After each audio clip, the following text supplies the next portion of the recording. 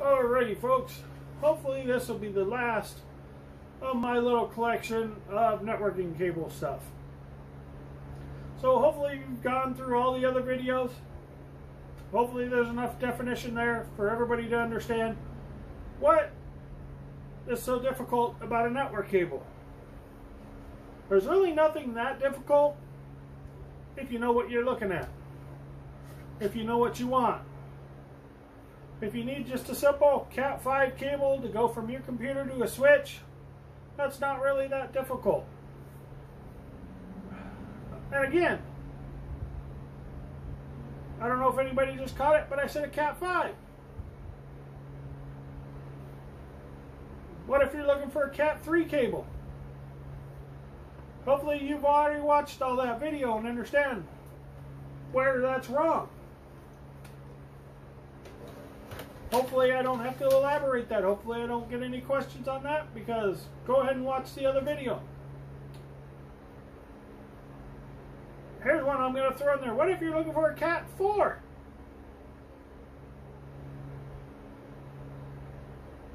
Now, everybody go, what's he talking about? They did exist.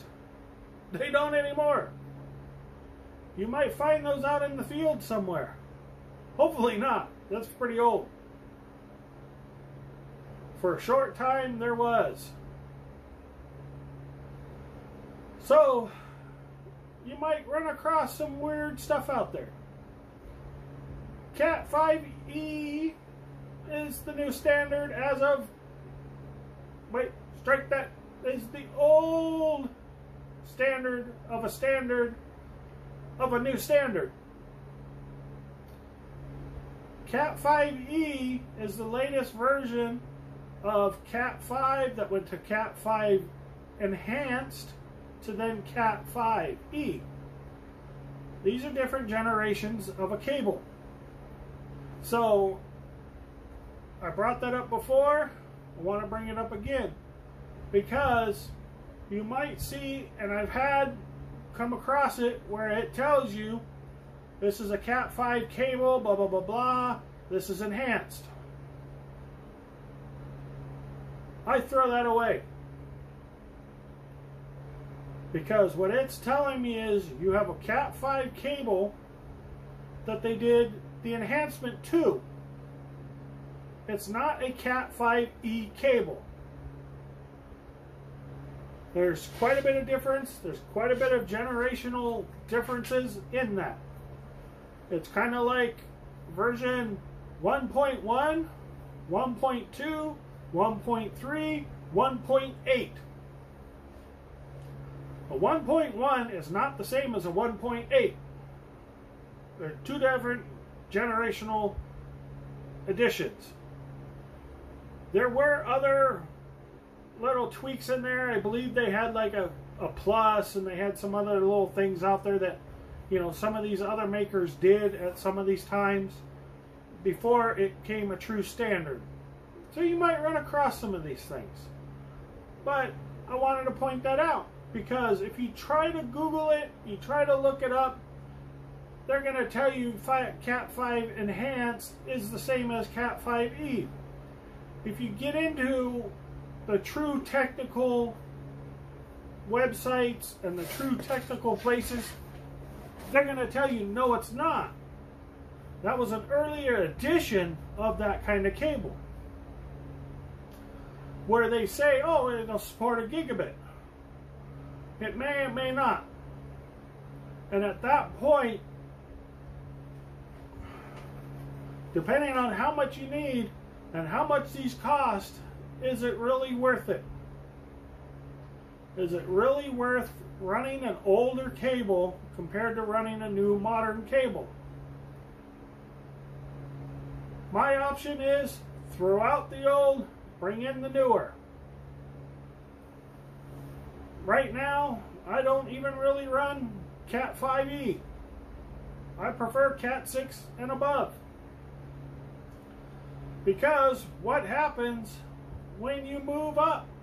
What happens when you decide to implement something new on your network? And it doesn't support this.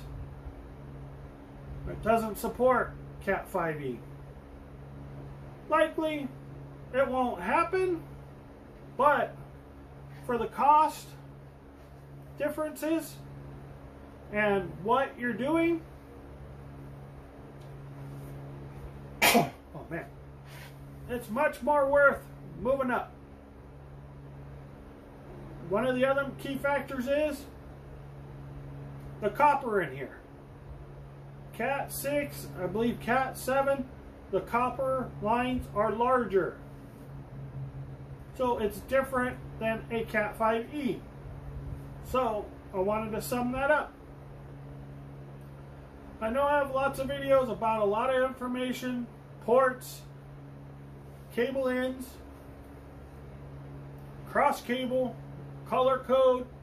There's a lot of information that comes down to this. How it's used, where you use it, how long of a run, how long of a run do you have to make with it, how far does it have to go, how many do you connect together, what kind of cables you connect together, is it shielded, is it unshielded, should you mix shielded and unshielded? No, not on the same connected line because then it does you no good to have shielded. You want it shielded all the way. Switches. You can add switches in between your cable run so that you can make the run longer. 325 feet is really the max. I would not push it more than 300 feet before you put a switch. Then you can add another 300 feet, put a switch, add another 300 feet, put a switch, add another 300 feet, put a switch. That's over 1,200 foot long. But when you do that, you want to figure out what is the best way to do it. Because you have to put power, you'll have to do these things, you'll have to do some of these things that need to be done. Some of the weird alternatives out there is PoE. I haven't really tried this, but you know, if you have a PoE switch and you have a PoE switch on each end that can provide power in to that other PoE switch, supposedly that switch can run off your network cable and not actually off the power. I don't know, I haven't tried it. You know, but there's stuff you can research, you can find out.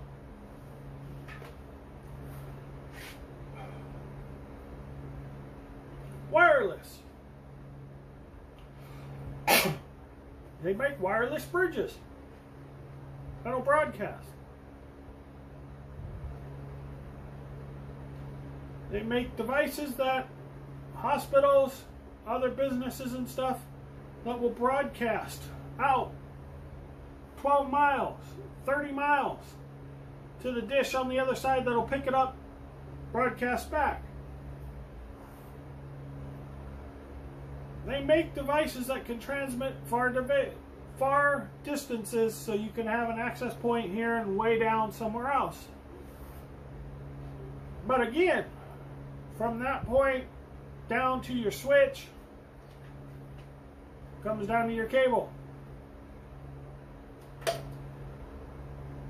These are all little factors that come into play. I know there's a lot of information out there. There's a lot of data out there. You can do research. I'm not going to show how to terminate a cable and all that because I'm sure anybody can go online and see the hundreds of other videos doing that. Might do that later on, but I have to dig out all my tools and all my stuff just to do that when really this is about your cable. As long as you know what the ends are, you know what the color code is, you know what the wire should kind of look like, you can see how these colors are marked. A lot of them are marked differently,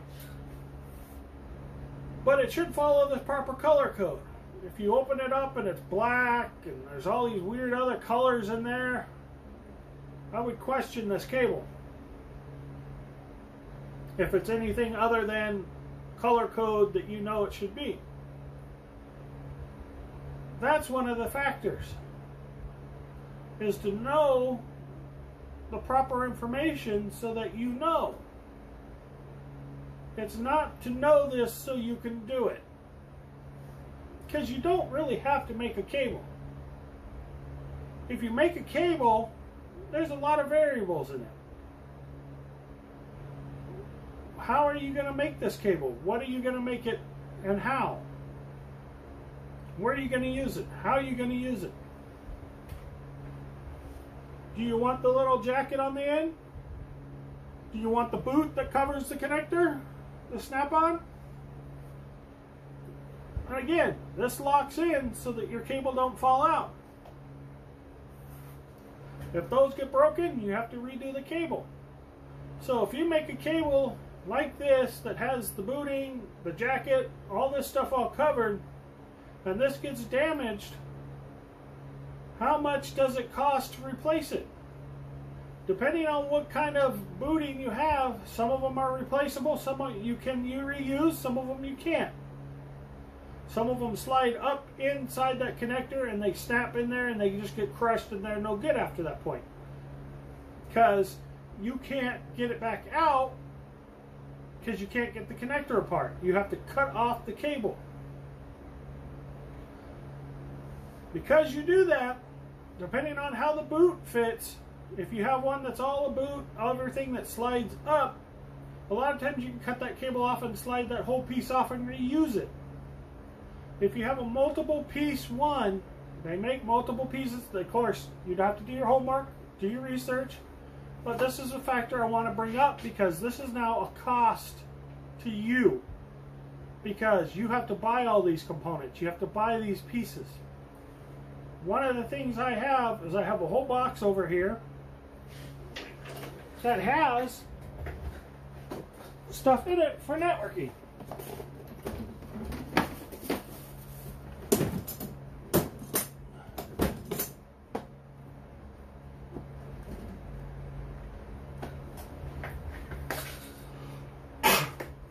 Here's another option. They make these in multiple, multiple colors. In the old days, we used to have IT guys that would use white cable for one thing, yellow cable for one thing, blue cable for one thing, and so on. Basically, where I'm at, what I've done is I don't use that. I don't use different color cable. Because then anytime someone wants something, you got to go change it. And really, I think it looks bad. Because you have all this stuff that comes in, it's all multicolor. I like it all one color. If there's lines that you know you're going to use on a regular basis that, okay, I got to change this from one network to another network, especially IT people if you're jumping from one network to another network on a certain port, I have a very specific color cable. And it's a patch cable that's flexible, that you don't have to worry about, you know, if it, it breaks, it's made to be moved. So when I go into that room, it stands out like that. Yep, that's the one I need. I double check the port. We're good to go.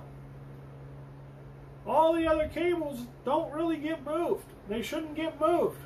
People aren't moving offices. They're not moving around. You know, they're all in a good spot.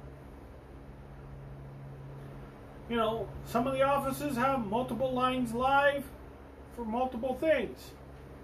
So, I found this works out great. Because if you were running managed switches,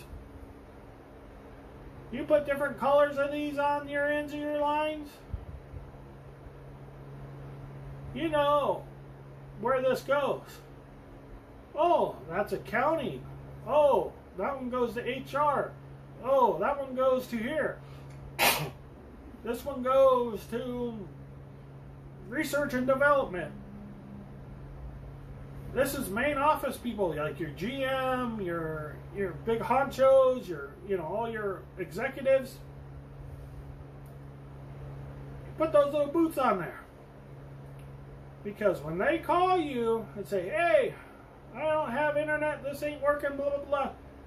And if you know, okay, it's a gold color or it's purple, you can go in there and look right at that switch, find all those purple ones real quick, boop, boop, boop, and see if the link lights are on. If those link lights are off, you can track that cable back, see what's going on there. Did the managed switch turn off that port? Go log in, check out, is that switch on? Is that port on? What's going on? You can do all that real quick just by having these. So that's also another tip for home users. I know stores charging a fortune for these. Go online, buy them dirt cheap. Buy them dirt cheap. I have a whole box full. I paid so dirt cheap for I've got them here. They'll probably last me another 50 years. I've got so many of them. I've got thousands of them because they were so cheap. Now, I don't have thousands of them because they were so cheap. I have thousands of them because that's how much it cost to have what a small little package in the store would have been. So for about 30 of them in the store, I got over a thousand. So that's why I have them. So that's one of the things you can consider. If you're a home person, you have your network set up you have one that goes to your Wi-Fi router. Maybe you have your cable modem or whatever that runs over to your switch. You know, you can put green on one end, that's your switch that comes in, comes into your switch. Oh, well this one then goes to my Wi-Fi. Put blue on each end. So that way, if you're having a problem with your Wi-Fi, and you pick up your Wi-Fi router and you look at the back, oh shoot, it's blue. Okay, so then you go to your router, from your router to your switch, guess what line it is? It's the blue. You might have a 25 port switch if you're in a business, you might have 48 port switches and 10 of them stacked up. Makes it a lot easier to know what cable you're looking for. You don't have to tone anything, you don't have to test anything, you don't have to try to guess, unplug, oh, not, not, not, do not plug that in, no, do not, no, no, okay. These will tell you really quick. So that's a tip that you can do. So I know that isn't covered in any of these other videos, but this is what I want to cover in this big in-depth video. Because all of that's all the little things for troubleshooting very particular things, like certain kind of cable. You walk in trying to find out what's going on. More probably for professionals not for home users. But, again, I just brought up a big scenario where you have three devices, four devices, five devices. You could run across a cross cable. That's why it wasn't working. You moved something, you grabbed the cable off the shelf, you went and hooked it up, and voila, it don't work. You have a cross cable instead of a standard cable. Something to look at.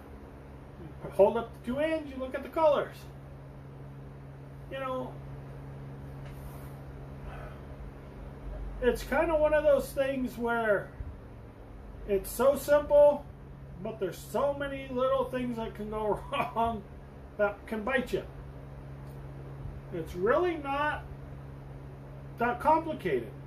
It really isn't. But the biggest problem you have is you have that cross cable and you have a standard cable. you can't tell the difference unless you really look at them. So that's where things can come up. Uh, color code, really, unless you're linking two cables together, even then, you probably won't have any issues. You might have some weird fluctuations on testing and other things, but it should not affect your system. Best practice? No. You don't do that. That's not best practice. So that's one of the variables. So these are some of the things that you go over when you troubleshoot and especially if you're a home person that you're trying to do something easy that won't cost a fortune and you have nothing but headaches. And it could be just as simple as, and you may even go out to a store, because this is one of the things that really bothers me, is you go out to a store and you ask them, I'm going to go from my router into my room way in the back. I need a 50 foot cable. Do you have it? Oh, let's go see. And they take you over there to the aisle, and the guy stands there goes, um, okay, now you said 50 feet? Okay, these are 50 feet. And turns around and boom, he's gone. Because he has no clue what those even are. He knows it's a network cable and he knows it's 50 feet. And leaves you there. You're stuck. You need this for what you're going to do. So even if you go and try to ask someone to get guidance, they don't know. Or they tell you, oh yeah, this is what you need. They pull it off and they hand it to you. They didn't even look at what that actual package is marked.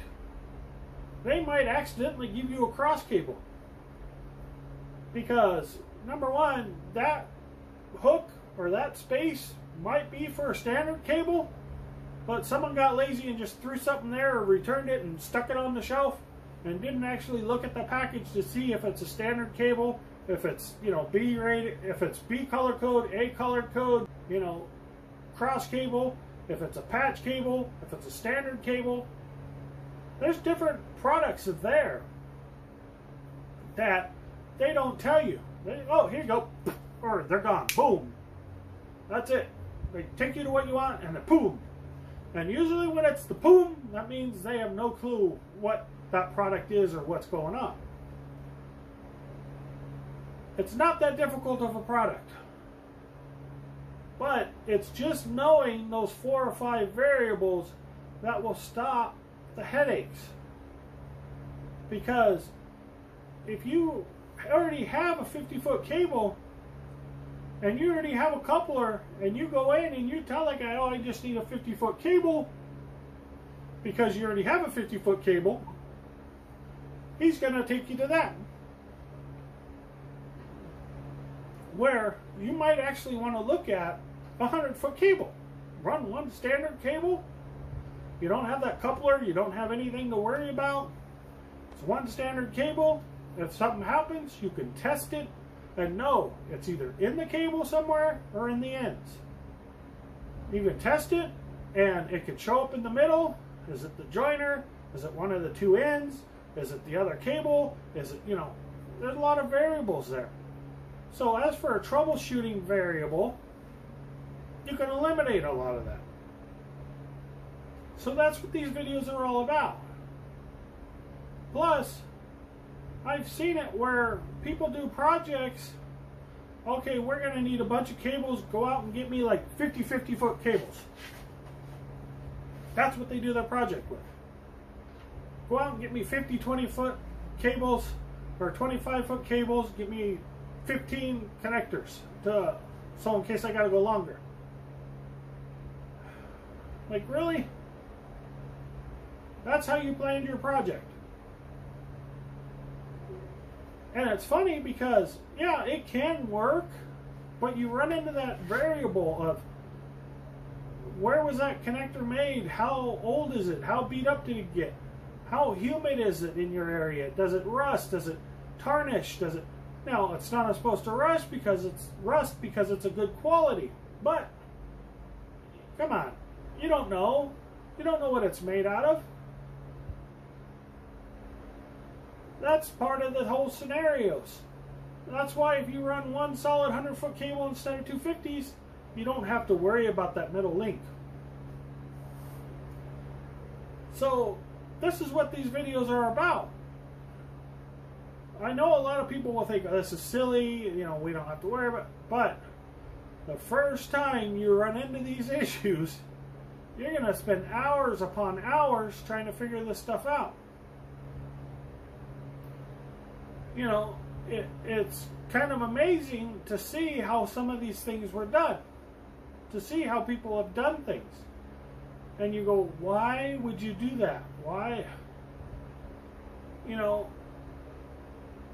and I just come in and I troubleshoot some things and I tell them, you know what, I can troubleshoot it for you two or three times. After that, clean run. And they go, what do you mean? After the third time, if you're still having issues, I'm going to have to crawl up there. I'm going to have to look at everything they've done, unhook everything, check all their connectors, check everything.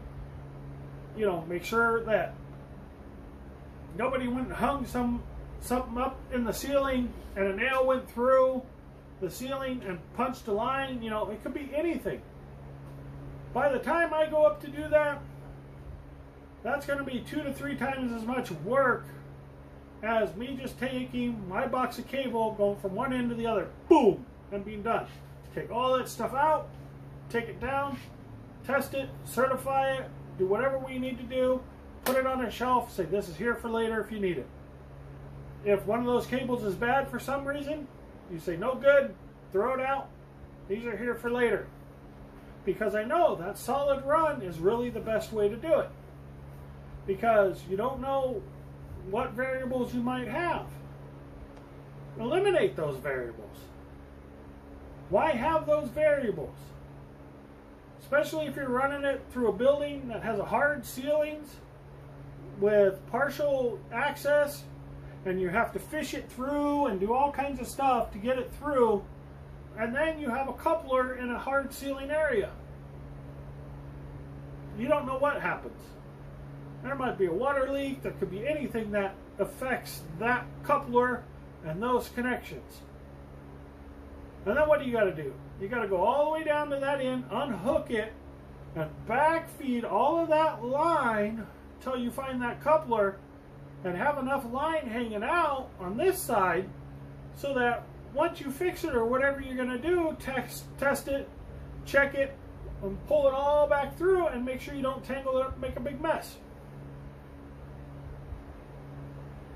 So, as a homeowner, small business, big business, I'm sure you've heard what a headache that would be. A lot of work that would be to do this. So, these are some of the variables. I keep saying it's an easy thing, but it's a hard thing. If you have a shielded cable and you run that sucker all the way and it's shielded, you have no adapters, no connectors or anything in it, that's a good line. Run it down your wall, put the keystone jack on there with the faceplate, put it in, boom. Nobody fiddles with it, nobody touches it, everything's great. You test it, the ground works, everything works, everything's great. That's great. That line should last you pretty much forever unless somebody puts a nail through it or screws into it or something else. So, you know, those are the variables you want to figure out. Number one, number two thing to all of that when you run cables,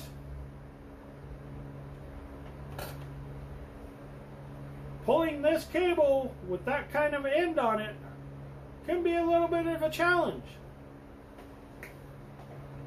Pulling a cable that has this on there Usually goes right through whatever you need it to go through.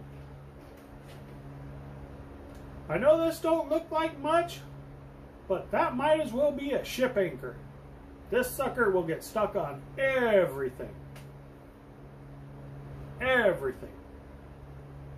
So that's one of the things to consider too if you're running cables. You might want to actually make your own cable. Because that's a lot smoother. That'll feed right through. Drop it down to where you need to. Come back, terminate it, and you're good to go. Not to mention those keystone jacks that go in the wall. What are you going to do when you get to the wall with this? I brought that up before. There's the keystone jack you can actually plug that into and it has the same port on the other side to plug a line into. That means you have to go buy that certain kind of keystone jack. Instead of the standard keystone jack where you punch it down. Either one could technically work, but this line, you have all of this. Make sure you have enough space in the wall. It's going to get tight. Don't want to pinch your line, break your line. Usually this goes right in and you can bend up and you're good to go. All these little things. There's a lot of little, little things. Especially if you want two or three lines in a box. You're going to run out of space pretty quick. So, or you can just run it out the wall and, you know, looks a little cheesy, but there's other ones where they come down at an angle so you can plug your line in and it comes down off the wall so you have more space to slide back your items instead of having the items so far off the wall. There's a lot of little variables. So go ahead and do your homework. Um, I hope this really does explain a lot of networking cable. Went over the color code, went over your patch cable summary in here. What else was there? You have, again, the flexible patch cable, and you have your standard run, horizontal, vertical type of run cable. Patch cable has the serrated wires inside, multiple copper instead of one solid piece of copper. That's another factor when you make your own cables. In the old days, they used to make connectors that were for one or the other or both. And of course, the ones that worked on both were a lot more expensive. Nowadays, most of these connectors, they figured out when it punches in, how to punch it down the pin in the middle of the wiring. So it doesn't matter if it's solid or stranded cable, you can use the same connectors. But that's one thing you want to always look at when you buy your connector is what kind of wire does it support. Same with electrical. You have the different kinds of wire, solid or not solid.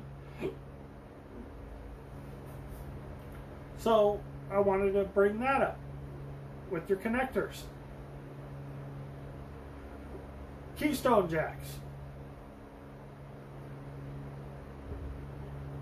One of the main factors why, when I also brought up in the other video, patch cable is not really made to be run through the walls because it is not solid cable. Solid cable is better for the keystone jack. Because when you terminate the keystone jack, there's two little serrated edges that cut into the sheathing and rub up against the copper inside. I'm sure you can probably do it with the other line. It's probably going to be a little bit more of a task you might have to work on it a little to make sure it has good connection. So that's another variable. I know I've done it on patch cable. I haven't had any problems where, but those are repair work because somebody cut it, somebody did something, and they just wanted it patched and repaired. The line was long enough, they had extra in the ceiling, so the patch was done.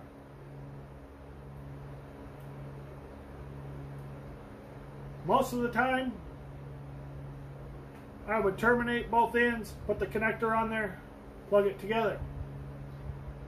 Only reason why I do it that way instead of the other way with the keystone jack is, is that wire's already been broken once. Why? So if by some chance they break that wire here and then they go up and break it right here and you have enough slack you can just move that to the new point and reconnect it. Never been called back for a second break. So, is that the best practice? I don't know, but that's the procedure I've always done. So, I mean, those are considerations. Best practice probably would be run yourself a new line take that one out. Bite the bullet, bite the costs, whatever you want to call it, replace it. Upgrade. If you have a Cat 5e line, might as well take that chance and put a Cat 6 in. So, those are some of the variables to think about. You know, why you do this work and how you do it is very strange and particular. Like I just mentioned, broken line, you repaired it, why not upgrade it? I threw out Cat 6, right, as an option. One of the big options too is, okay, that line's running through your ceiling, how far is it running? What's it running over? What's running around it? I mentioned Cat 6. You could stay with the Cat 6. Or maybe you bump it up. Cat 7. Maybe you do a half bump. Cat 6 shielded. Depending on where you're running that line and how long, it might be worth investing a little bit more in going for shielded. If you're running that in the house or something, and you're running it from your router all the way to a back room into a computer, you might want to consider running shielded. Why not? Do your homework, do your research, find out what costs are, find out. Because if you're going to buy what you need to do the Cat 6, you're going to buy the tools, you're going to buy what you need, buy a pre-done cable, especially if you're buying a pre-done cable, and you're going to do that effort of Mr. Snagzilla. If it's an easy run where you're not going to have a lot of snags, you might want to consider upgrading to shielded. Go watch that video. You know, this is all networking. This is all simple network cable. That ain't so simple. There's so many variables out there. So many. I know most people nowadays think this is silly to spend all the time, money, and effort into this. I'm going to go for Wi-Fi. It's easy. Yeah, it is easy. Easy for a lot of things. Easy for breaches. Easy for attacks. Easy for people to get on. Easy for people to steal your info. Go watch all those videos. So, you have a whole security aspect on that. So, there is no real easy answer. There's a lot of easy questions, a lot of easy information, but it's up to you to choose what would be best and what you can afford if you really, really can't afford to go to a hiring cable, I understand. You probably really don't need to. But if I'm going to spend the effort and I'm going to spend the hour or two hours doing something, why not me do the best?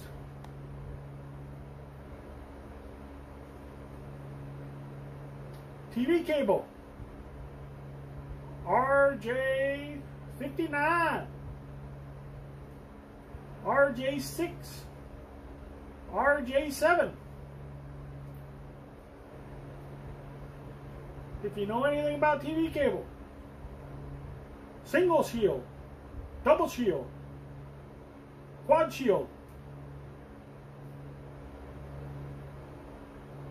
Which one would you pick? Why? Same thing. Hopefully you didn't say RJ59. Hopefully everybody's running RJ6. Much better cable. What I'm running? RJ6 quad shield. Why not? Why not go for the best? Seven is for backbone resident for corporation type other things. I think there's an 11 too. Big old monster cable. Why, you know, why not? Why not go for the quad shield? I bought the tools, I bought the ends, I did everything, ran the cable, terminated, hooked them up. Why not? Better cable than the cable company would give you, better cable than the satellite companies would give you. So, why not? Why not go for it? So, same thing, network cable. Why not go for the best? Connectors, joiners, wall jacks, face plates. Look at them. There's a million variables. White, tan. I think they even have black. They have all kinds of colors. Keystone jacks come in all kinds of colors blue, red, yellow. I mean, you, you might have yellow walls, you might want a yellow faceplate and a yellow keystone jack. So it all blends in. Black, maybe you have a black wall. You can personalize that stuff that way. So these are variables that are out there. Is there a difference between a white, tan, black, yellow keystone jack? No. You buy a good brand? No, it's the same thing, just different color. So these are some of these variables that are out there. And this is all just running a network cable. You can actually buy different color cables. You don't have to have white. You don't have to have black. You can have green. You can have blue. Where I talked about those connectors. You don't even have to buy those connectors if you want you can actually literally buy cables that are red, yellow, blue, green, the entire cable. That also helps to know what cable goes to where when you look at your device. You look at your printer. It's got a blue cable on it. You go to your switch, there's only one blue cable. Well, you know it's not the orange one, you know it's not the red one, because you saw it's blue on there. So it's the blue one. So there's all these variables out there, but it's all network cable. It's all how you want to do your network. It's all on how you want to make your life easier. So that is an option. You know, maybe something you want to look at.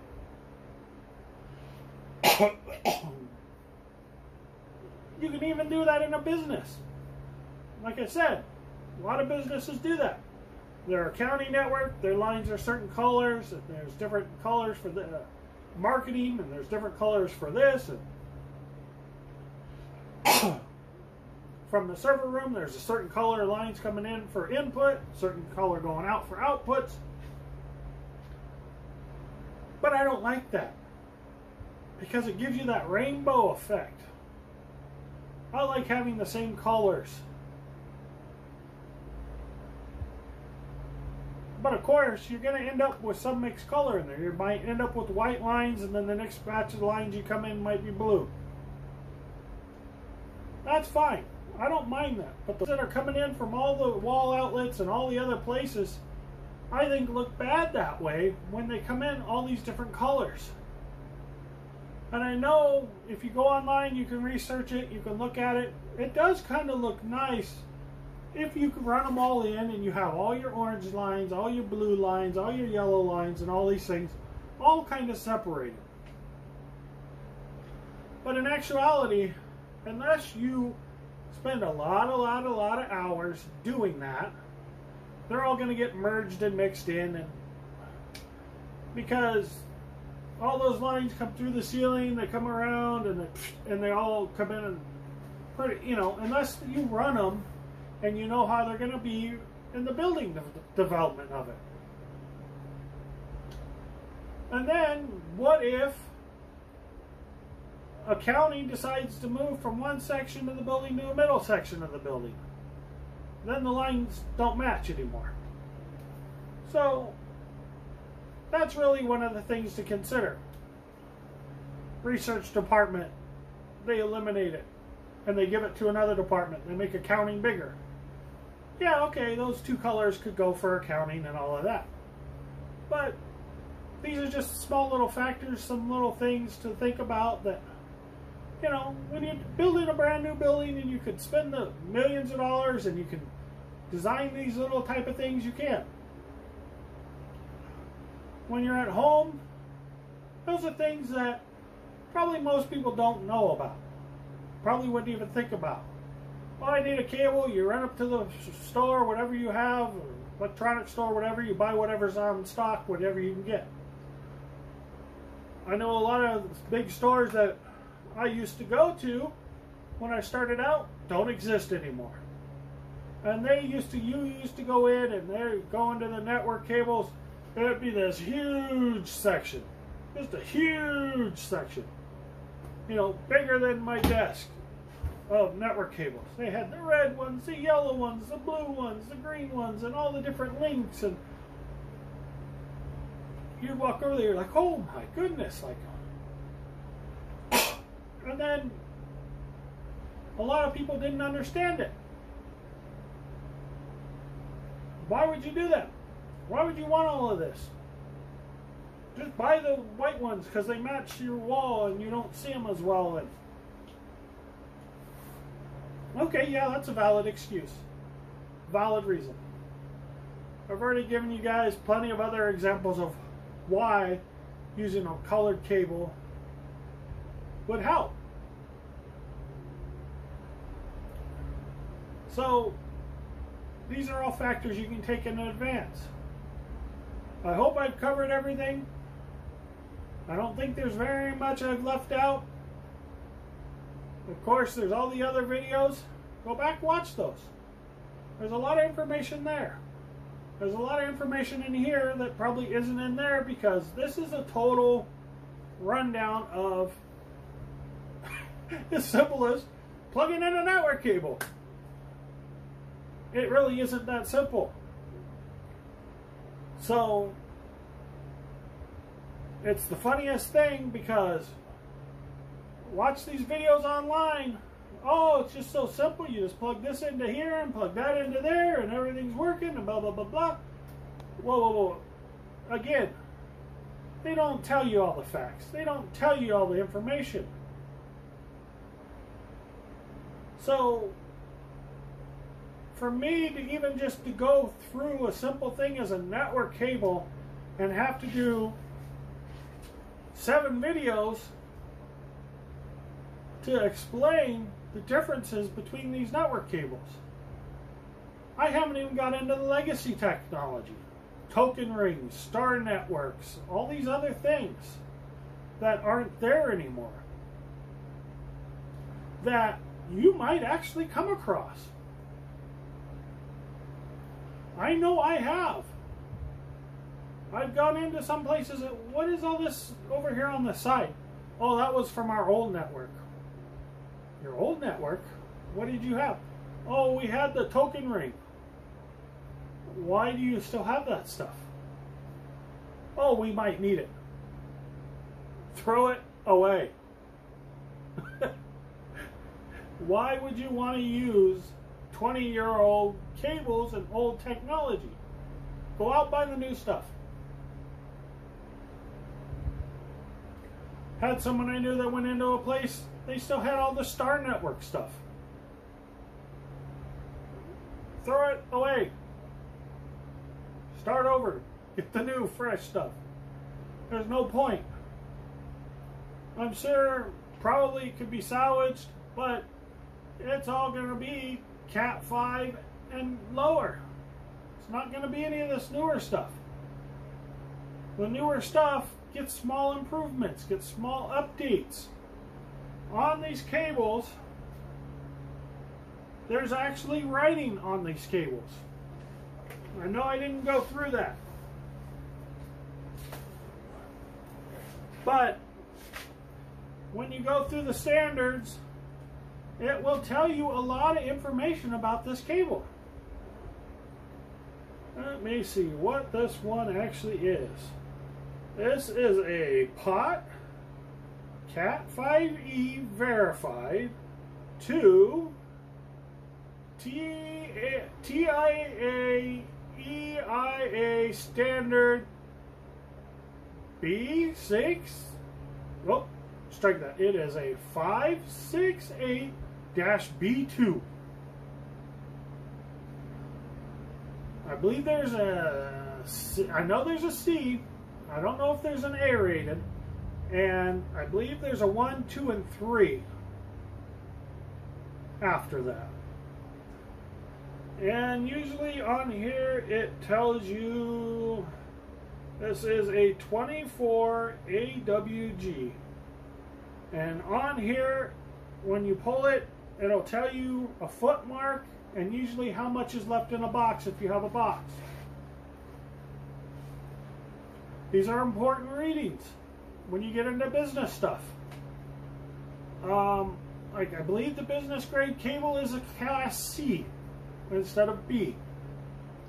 And they have reasons, and you'll have to do the research to find out what all the different variables are because it changes. If it's a C.1, a C.2, I believe there's a C.3, all of those ratings are different on how this is certified. So there's a whole nother variable in cabling right there. If it's a Plenum rated, if it's riser cable, all of those type of things will be listed on your cable. I know there's some at one time that were actually marked as a cross cable. They were made manufactured for cross cables. So they had their own cable and it was own rated for a cross. to me, I don't think there was any difference between this cable and a cross cable except for the ends.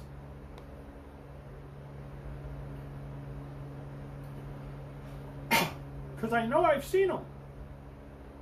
I've seen them marked that way. And I went, huh, interesting. But the ones I seen were Cat 5 cables, and I went, eh, interesting, Cat 5. In the trash. As far as I went. Because there was no reason for me to proceed because it wasn't Cat 5e. So that was old legacy stuff that I saw, I found, and I chucked it. Because it doesn't do me any good. Because I want Cat 6 and above. So, these are some of these variables that you'll come across. You'll run into some of this old cable. some of these businesses are funny. They'll hang on to this stuff and use it. Oh, it's working fine. Well, why are you getting 10 meg instead of 100? Because they're running that funky cable. So, you know, that's some of the variables out there. You know, you'll run across this stuff. If you're a home user and you go out to a thrift store, you go out to some place and you come across some of this stuff, look at it. Make sure it's actually what you think it is.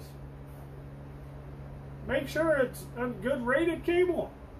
Not some token ring or some old cable that someone just, oh, I'll just donate this and went to a charity and the charity has no clue. They mark it as a quarter and put it out on the shelf because they're going to make a quarter on it and you buy it. it's some old obsolete cable. Yeah, you didn't pay that much for it. Yeah, I would buy it because I would want to come home and play with it and test it and, you know, do all that kind of stuff just to have fun with it. If you're interested in that type of stuff, yeah, you know, it's worth it. But then at least you know what the, what it is you're working on, what you're playing with. Maybe you're interested in getting into the computer field. Maybe you're interested in designing, designing and making network cables. Maybe you have a great invention for a cable. Maybe there's something out there that is completely obvious that's wrong with this cable that you know you can fix and make this cable much better. You know, that's why there's different ratings on them. Because somebody has obviously figured out I can make this cable better by doing this, or changing that, or doing this, or changing the twist, or stretching it out, or do, doing something a little different that causes the different rating. So, this is part of the factors I wanted to bring up. It's not so cut and dry. If you're a home user and you're not using any high bandwidths and you've got 100 meg speed, here's the problem that I've been seeing. And I've brought this question up. Nobody's really brought it, answered me on YouTube, Facebook, or anything. Is what speed is your internet? I go on these trips to San Diego for vacation and I'm seeing these ads. Sign up for our fiber optic connection or sign up for our cable connection. You get 300 meg, 500 meg minimum internet speed. Where I'm at, the standard is 100 for the company I have, and you can upgrade. Well, it gets really expensive upgrades there's other companies out here that aren't even maybe a tenth of that of speed. So it's funny when I go out and we go places and you see these places and they're five, six, eight times the speed of what we have. And it makes you kind of go, okay, wait a minute. 100 meg, yeah, 10100, yeah. That's, you know, Cat 5 rated, but yeah. Now everybody's got, should be on Cat 5e. All the old standard of Cat 5 should be gone. You should be running a gigabit speed. So, 300 meg, 500 meg, still under gigabit. You're fine with Cat 5e. Go to Cat 6, you have that extra buffer. What's the next leap? When that internet speed keeps picking up, picking up, picking up, picking up, picking up, pretty soon, gigabit might not be fast enough. You might be at 1300 speed or faster, you know, 2 gig internet here in 10 years, 5 years from now. Who knows? I doubt it's going to go that high but if the demand's there and everybody keeps online and keeps the, the streaming and all these other services pick up, that internet speed might pick up. You might need faster. Then you need better switches that could support those speeds. So, this is why this cabling thing is kind of an important thing to keep an eye on. Depending on what areas of the country you're in and what kind of connections you have, like I said, I can upgrade my internet speed. I think I can get a gig internet speed, but it's a fortune to do it. Yeah, my computer can support it. My graphics or my network card can support it. My Wi-Fi can support it. All these things can support it. My network can support it. My switch cannot. Now, let me think. My switch might be able to support it. I would have to look at the speeds. Because, yes, it can. I have gigabit switch. Because I have the overhead, just in case. Because in case I want two computers to communicate, I don't want them to slow down. So that's your other variable. What are you doing inside your network? You have a data server. You have anything of that sort. That communication will be faster internal until you go out. So knowing how a network set up, how all that stuff structured, will help your choices on this.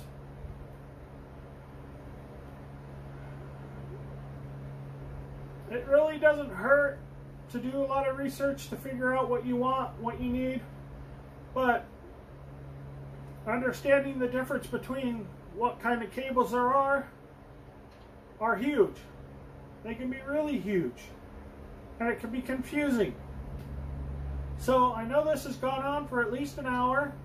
I hope this will sum up enough along with all of those other videos so that you understand truly what's involved. Because I know a lot of people right now are going, yeah, right, man, I'm just going to go get Wi-Fi. Go watch all my Wi-Fi videos. What kind of Wi-Fi are you going to get? You're going to get the A, you're going to get B, you're going to get C, you're going to get AX, get Generation X, get, you know, Wi-Fi 6, what are you going to get? You're going to get mesh? Guess what? You got a lot of answers there too. And you better know what you're doing. Because if you run out and you buy the wrong Wi-Fi at the wrong speeds and the wrong connection speeds and your device does not support the new generation 6, you're spending a lot of money on something that this thing can't handle, that won't communicate to right it's going to default down. It's going to compensate. So go back, watch those videos. That's what's so important about this because I know a lot of people gave up on this because they thought, oh, you know, it's too much work, it's too much hassle, I'm just going to go buy Wi-Fi. Look at all the generational jumps and leaps and stuff that Wi-Fi's done to get up to a decent speed. So now getting up to a decent speed. But this can get up to killer speeds. If you have the right equipment and you spend the right amount on switches, you can get 10 gig connections. 50 gig connections, I believe, is what it's up to now yeah, those switches and stuff are going to cost you a lot of money. But if you need that kind of speed, the only way to do it is through copper. Unless you're doing fiber optic or some other kind of other line. So, this is why,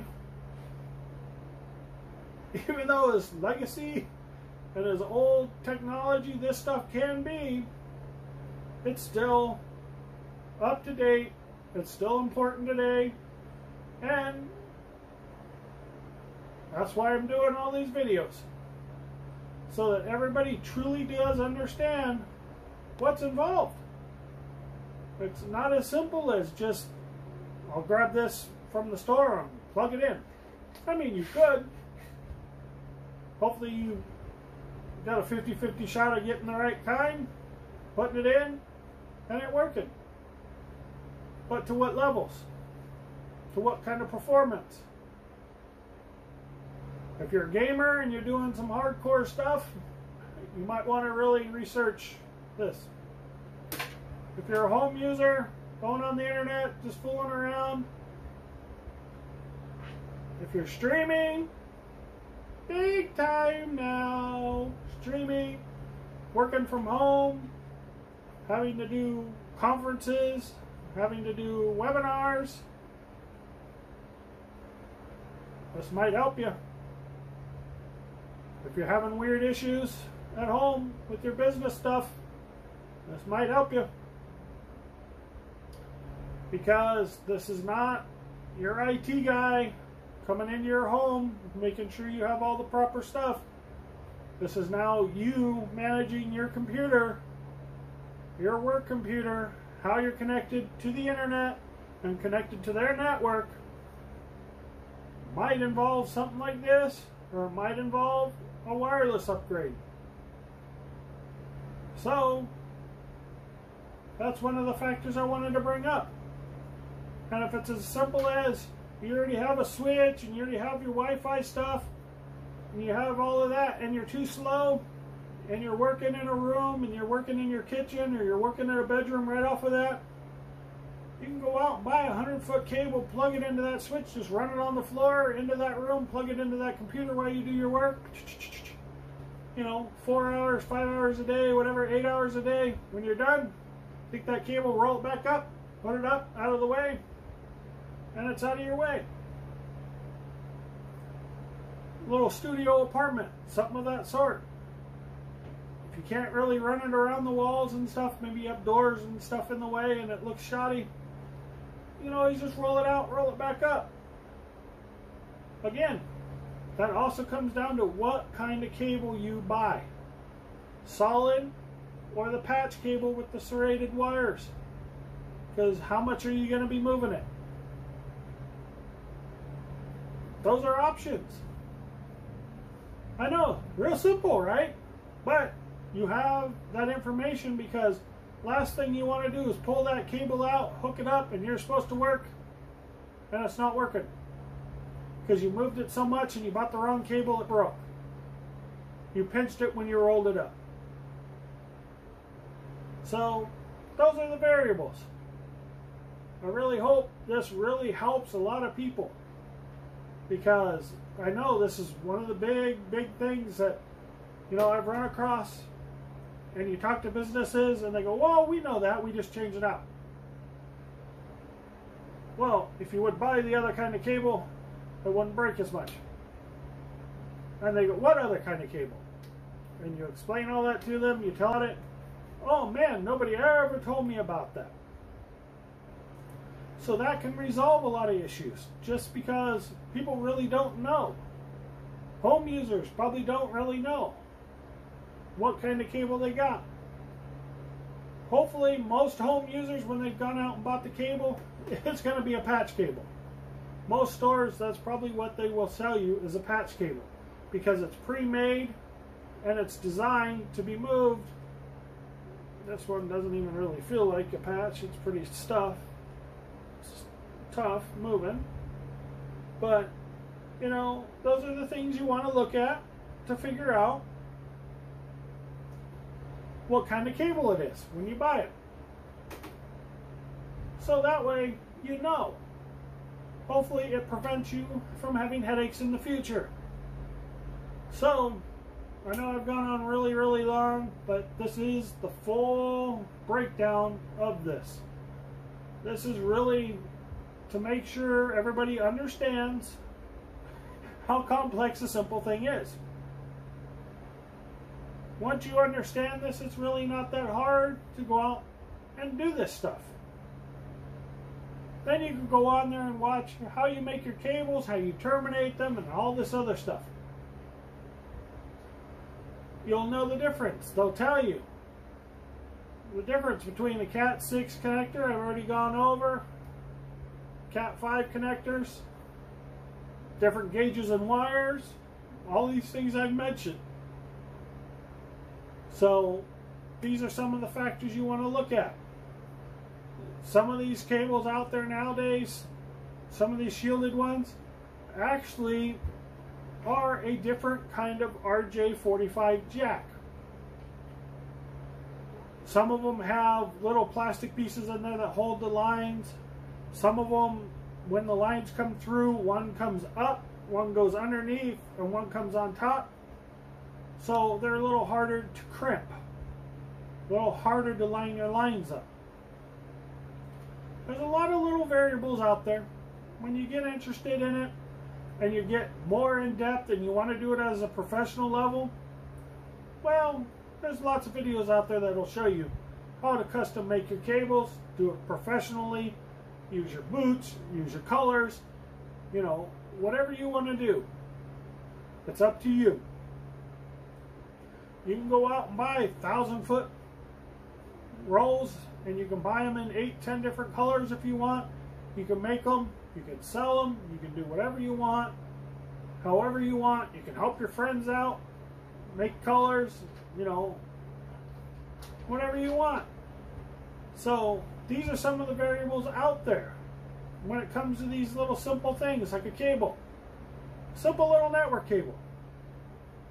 Seven videos. So go back, watch them. Hopefully everybody enjoys it.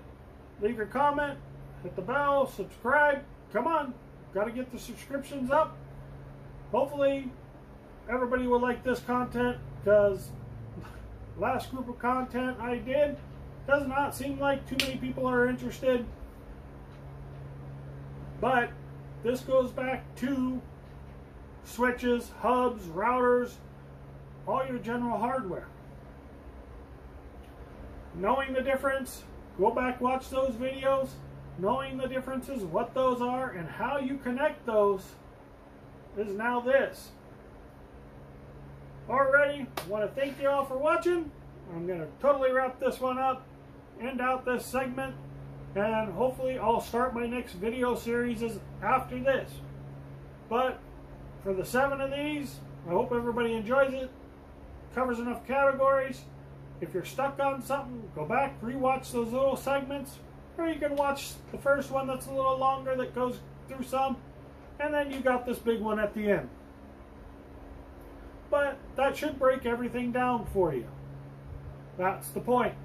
Break it down, make sure you understand, so when you go to a store or you go and ask someone about this, you know. Because that's the difference. You have a good internet connection, you have good Wi-Fi connection, and it's slow, It could be as simple as that. Alrighty, thank you.